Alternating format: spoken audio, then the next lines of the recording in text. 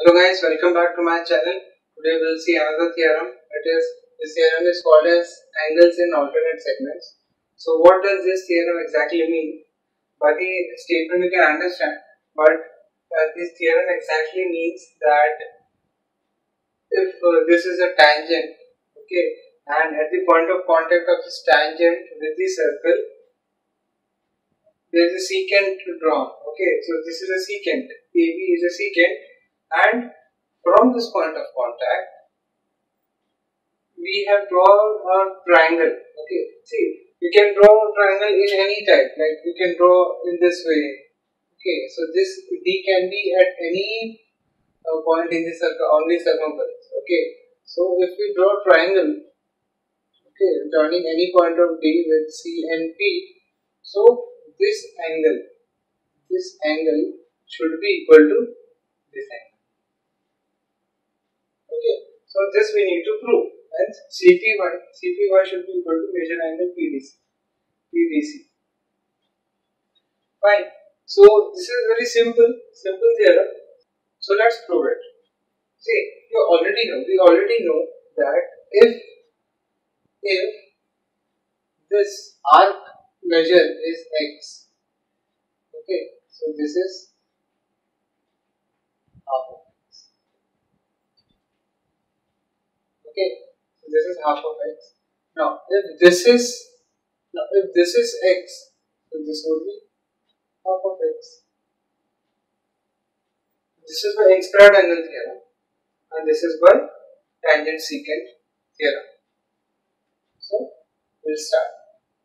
So, let measure r, measure r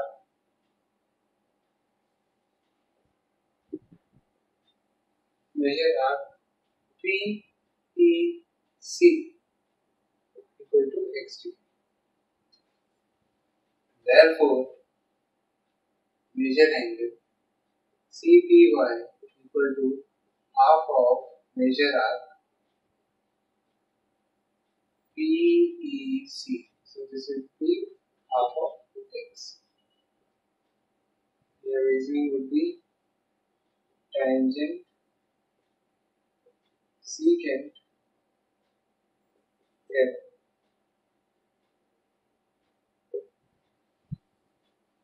Okay, now measure angle PDC equal to half of measure arc PEC.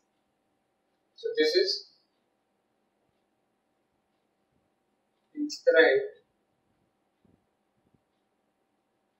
angle here.